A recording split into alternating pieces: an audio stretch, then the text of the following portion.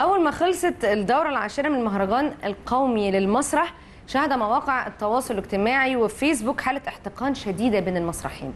وصلت إلى حد المشاجرات بسبب الجدل حول أزمة حجب جائزة التأليف وحالة التعسف والعزل اللي شعر بيها الشباب من الكبار. أسئلة كتيرة جدا هنطرحها على ضيفتنا النهارده وهي هند سلامة رئيسة صفحة المسرح بجريدة رو- روزا اليوسف اليومية. صباح الخير يا هند إزيك؟ صباح النور؟ أخبارك إيه؟ الحمد كنت لسه لله. بقول لك إحنا في مشاكل كتير قوي على الدوره دي. صحيح. صح؟ طب قولي لي بس في البداية كده تقييمك للدورة العاشرة لمهرجان المسرح التجريبي المصري. آه، مقاوم ده القومي مش تجريبي خلينا الأول المقاومي أنا آسفة. تمام. آه المشاكل هو الم- المهرجان بصراحة من ساعة ما بدأ لحد لما خلص كان في مشاكل كتير لأن المهرجان حصلت فيه لخبطة كتير جدا السنة دي. هو آه، اولا لائحته اتغيرت تماما في حاجات كتيرة قوي جديدة اتضافت عليه. في آه عروض المسابقة الرسمية قلت خالص بقت 20 عرض بدل ما كانوا 36 عرض. المسابقة اتقسمت بقت مسابقة رسمية ومسابقة عروض مختارة مسابقه نقاد وجمهور. ده عمل مشاكل كتير بين الناس لأن في ناس حست بالإهانة إنها خرجت من المسابقة الرسمية لمسابقه أقل. آه، عروض المهرجان السنة دي كانت أقل من عروض السنة اللي فاتت. يعني تقريبا عروض البيت الفني المسرح بس كانت بتنافس نفسها. لكن إحنا كنا متعودين كل سنة إنه بيبقى في عروض جامعات ومستقلين وهواة بتبقى عروض حلوة. وكانت بتبقى قادرة إنها تنافس العروض المحترفين بس السنة دي العروض كانت سيئة جدا. آه، يعني كانت حقيقي لا ترقى لمستوى التسوق. ما كانش في مثلا غير عرضين من جامعة عين شمس عرض سينما 30 تأليف وإخراج محمود جمال وعرض طقوس الإشارات والتحولات في المعهد العالي للفنون المسرحية يمكن دول عرضين اللي هم كانوا عرض عروض جامعة يعني اللي كانوا يعني يا دوب فيهم حاجات ممكن تنافس ال- العروض الكبيرة وفي- وهم فعلا خدوا جوائز جوه في المهرجان يعني في نهاية ال- خلينا نقول برضو. إن حجب جائزه التأليف آه لا ده في الدوره دي. غضب شباب آه خلى شباب المسرح غاضب جدا آه لأنه في منهم حصل كمان طلب لقاء آه، مع وزير الثقافة لمناقشة الواقعة دي. إيه رأيك؟ ده حقيقي. هي مش الواقعه دي تحديدا. هو عندهم مشاكل, مشاكل تانية كتير عرضوها. بس الواقعة دي هي اللي فجرت كل حاجة. طب ليه بقى؟ اللي؟ لأن اللي حصل ده حصل سنة 2014 برضو. في دورة 2014 كان آه، الكاتب يسري الجندي عضو لجنة تحكيم آه، حجب جائزة التأليف. والسنة دي برضو كان الكاتب أبو العلا السلموني برضو حجب جائزة التأليف. وكان طول الوقت المبرر بيتقال إنه مفيش آه، عروض تستحق إنها تاخد آه، أو مفيش حد يستحق ياخد لقب أحسن مؤلف. آه، مع إن السنة دي العرض اللي خد أحسن عرض هو جايزة هو عرض محمود جمال اللي دخل بيه تأليف يعني عرض يوم أن قتلوا الغناء. كان عرض إخراج تامر كرم. العرض ده خد أحسن مخرج خد أحسن عرض خد أحسن إضاءة خد أحسن ديكور. بس ما خدش أحسن نص. اتحجبت جائزة التأليف لأنه اتقال إنه آه، لو أنا اديت عرض آه، الجائزه دي أنا هبقى بظلمه في المستقبل لأن هو عنده مشاكل. هو لو عنده مشاكل عرض مش هياخد أحسن عرض. يعني بديهيا إن دايما بس أي- يمكن خد في أقسام أخرى غير لا ما هو أي عرض بيبقى بيزد على النص. لو النص سيء هو مش هيعرف المخرج مش هيعرف يعمل عرض كويس. فاهم قصدي؟ هي الفكرة إنه هي في حالة نوع من ال هم حسوا الشباب يعني واللي اتقال طول الوقت إن ده نوع من التعالي علينا وإن الناس الكبار مش شايفين حد غيرهم ومش عايزين يشوفوا أي حد صراع. الأجيال؟ بالظبط. هو حصل يعني ده كان في صراع أجيال قوي جدا.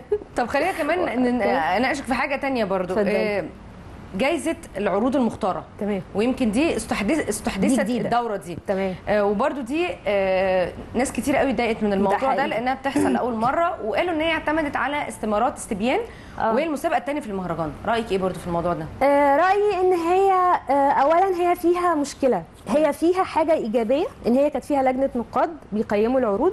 والمشكلة الثانية موضوع الجمهور. موضوع الجمهور ده مش هيبقى معيار أبدا لأن للأسف العروض دي تحديدا وغالبا عروض الجامعات بيبقى دايما الجمهور أصحابهم. فهم كده كده ال 50 استماره متوزعة على ناس صحابهم. يعني ده مش جمهور عادي. هو ده جمهور بيتابع مسرح وجمهور الجامعة جاي يشجع أصحابه. فالناس قالت طب أنا ماشي يعني حد هيعمل لي 50 استماره وخلاص أنا هبقى أحسن عرض.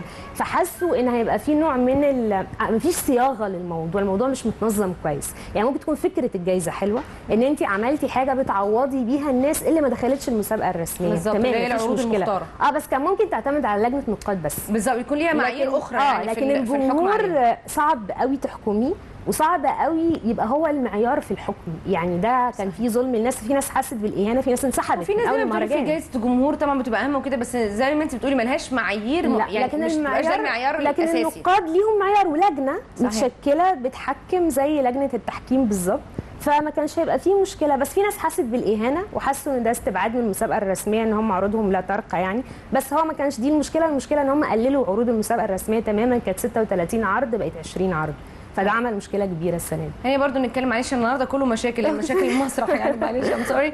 خلينا نتكلم رأيك في مشاركة بعض العروض العربية في المهرجان واللي يمكن أكد بعض المشاركين إنها بتنفي الصفة القومية أو المحلية عن بالظبط. ما ده بقى من ضمن الحاجات اللي اللائحه اللائحه اتغيرت السنة دي عليها إنه اللائحه بقت بتشترط إن يبقى في عضو عربي في لجنة التحكيم وإن يبقى في ثلاث عروض من دول عربية ويبقى في ضيف شرف للمهرجان السنة دي كان في ضيف شرف الإمارات وكان في عرضين من العراق وكان في دولة آه، والإمارات كان ليها عرض برضه. آه الناس طبعا استاءت جدا لسبب اولا لأن المهرجان القومي للمسرح المصري هو هويته مصرية. فهي الناس قالت إحنا ده مهرجاننا فما ينفعش يبقى فيه حاجة بيمثل شكل دولي لأنه كده هيبقى شبه التجريبي أو شبه المهرجان العربي. إحنا عندنا already مهرجانات بتغطي ده. الصورة دي من أنهي عرض؟ آه، دي صورة من عرض لا تقريبا مش فاكرة بالظبط. طيب okay. طب كملي لي موضوع العروض العربية. العروض العربية في آه آه، زي ما قلت لك آه، هم السنة دي العروض العربية المفروض إنها بتيجي already في تجريبي. okay. آه، بتيجي في مهرجان المسرح العربي اللي بينظمه دكتور عمرو دوارة.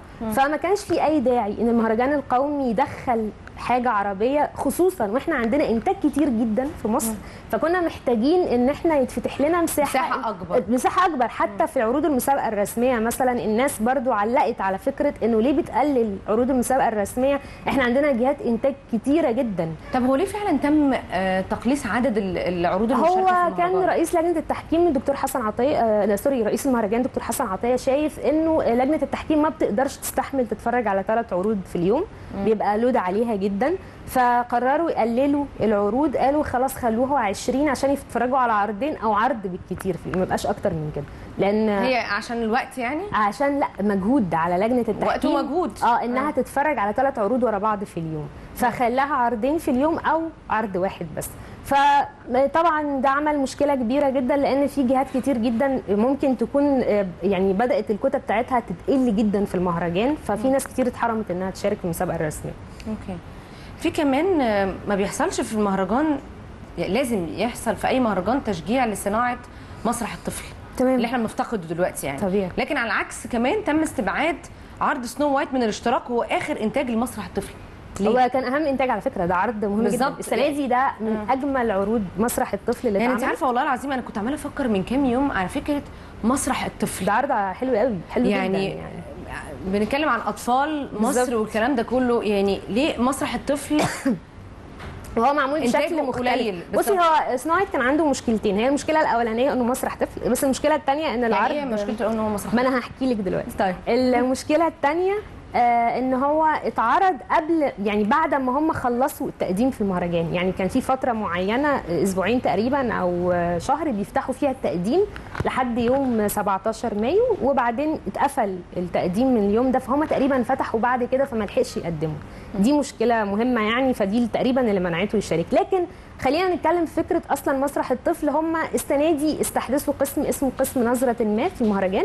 القسم ده يعني إنه بيلقي نظرة على المسرح اللي ممكن يكون مش بيمثل في المسابقة الرسمية. من ضمنها مسرح الطفل ومسرح الشارع والمسرح الغنائي. أنا شايفة إن الثلاث حاجات دول مهمين جدا. ودول مهم جدا إنهم يبقوا بيشاركوا في المسابقة الرسمية لأن انت بتشجعي صناعة المسرح ده. يعني صناعة النوع ده من المسرح. صناعة مسرح الطفل بتشجعي الناس تصنع عروض للطفل حقيقية ومبهرة حق يعني عروض فعلا بتخاطب الأطفال الأطفال دلوقتي مش الأطفال العروض القديمة التقليدية بتاعت زمان. وصناعت على فكرة محقق ده جدا. آه المسرح الغنائي مسرح مهم جدا. ما ينفعش. أستبعده واعمله نظرة ما. آه مسرح الشارع إحنا عندنا مسرح شارع كتير جدا. برضو ما ينفعش أستبعده. هي نظرة ما قسم آه حاجة جديدة ومهمة تتحط في المهرجان بس كان ممكن نعملها على العروض اللي هي الحدودية الأماكن اللي ما فيهاش مسرح أصلا ومحرومة من الممارسة المسرحية. بس ممكن نعمل عليهم نظرة ما بإن إحنا نشجعهم إنهم يعملوا مسرح. لكن الحاجات اللي اوريدي موجودة ما كانش ينفع تتحط تحت قسم نظرة الماء وهو بالمناسبة السنة دي كان على مسرح الشارع ما كانش على مسرح الطفل. يعني هو لسه السنة الجاية تقريبا أو اللي بعدها هيبقى بي... ليه علاقة بمسرح الطفل. طب في كمان بيقال إن الدورة دي آه، ما تمش اكتشاف أي مواهب شابة. هل ده الكلام ده هي حقيقي المشكلة ولا مش لا هي بصي هو كل الدورة كان كل- كان كلها شباب حتى عروض البيت الفني للمسرح كلهم شباب واللي خدوا الجوائز كلهم شباب يعني تامر كرب خد أحسن مخرج شاب في مروة عيد خدت أحسن ممثلة من عرض طب الكلام ده. جاي منين؟ لا المشكلة في إن هو ما أفرزش عن ناس جديدة من الهواة والمستقلين. طيب ما ده إحنا بنقوله. إيه المشكلة بقى؟ مش كل دورة بتبقى آه، في بي- تفريغ؟ بنشوف عروض جديدة وحاجات مختلفة وشباب جداد بي بيطلعوا للمسرح. لأن عروض كانت سيئة. ما أنا بقول لك عروض الشباب والمستقلين السنة دي اللي هي العروض الهواء اللي هي مش عروض البيت الفني للمسرح كان معظمها سيء جدا. فما خرجتش مواهب جديدة وما ورتناش حاجة مختلفة من مسرح الجامعات زي ما كنا متعودين يعني أنت مع. الرأي إن فعلا إن ال- الدورة دي العروض اللي تم عرضها على المسرح غير مؤهلة فنيا للوصول ولا لمستوى مؤهلة فنيا؟ المسابقه الرسميه أصلا. ما. كانش ينفع تخش مسابقة رسمية. اطلاقا. ده بجد. ده كلام كبير قوي لا بجد حقيقي. لا بجد لأن هي والله كان في تفاوت يعني- شديد جدا بينها وبين عروض البيت الفني للمسرح ودول شباب ودول شباب على فكرة.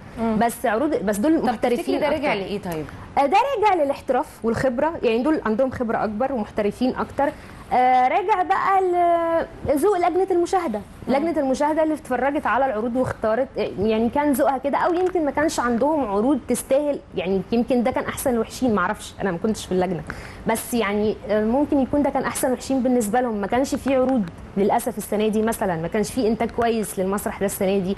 مع إن مسرح الجامعة يعني المفروض إن هو عنده مسرح كويس جدا بس السنة دي الحقيقة آه، كان هابط قوي في المهرجان للأسف يعني. دي حاجة كانت تزعل قوي لأن هم السنة اللي فاتت واللي قبلها يمكن كمان كانوا بياخدوا الجوائز من ناس من ناس مهمة.